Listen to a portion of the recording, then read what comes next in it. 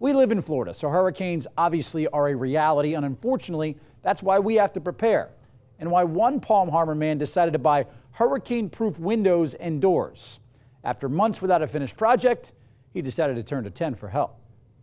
It shouldn't move, it should be solid. Mitchell Boceti is frustrated. They didn't attach this framework to the house.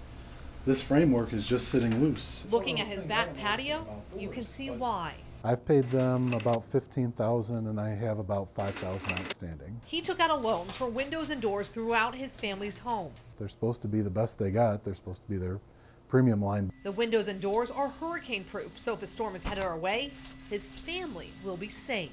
It's, it's tough on the kids to have to drive for hours and hours to outrun a storm. That's the main driver. So it, it was financially it was tough to, to be able to afford these things. But Mitchell says it was worth the investment. March 13th or 14th, I'd say, was the first time they tried to install them. The windows and doors are made by Geldwin. The installer is Armortech, a business out of Clearwater. There's operational issues on all three units. Mitchell called Geldwin, who came out to inspect the doors after the first install. Bottom line was that the, um, the cement that they put on the bottom, it was real wavy. So contractors with Armortech came out a second time to try and fix the problem. I can move it.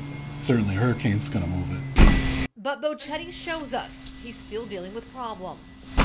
And the second report from Geldwin shows the problems still exist. For whatever reason now, the door is kind of split in half down the, away from the weld. But Armortech isn't uh, waiting for Boceti's final payment of $5,000.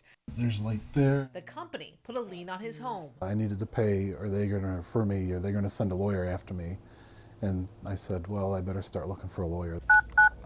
We reached out to Armortech, who put us in touch with their lawyer, who tells 10 Investigates the installation company is willing to go out at no additional cost to fix the issues at Mitchell's house and to release the lien on his home. Boceti's lawyer says he's spoken with the attorney for Armortech and they are in negotiations.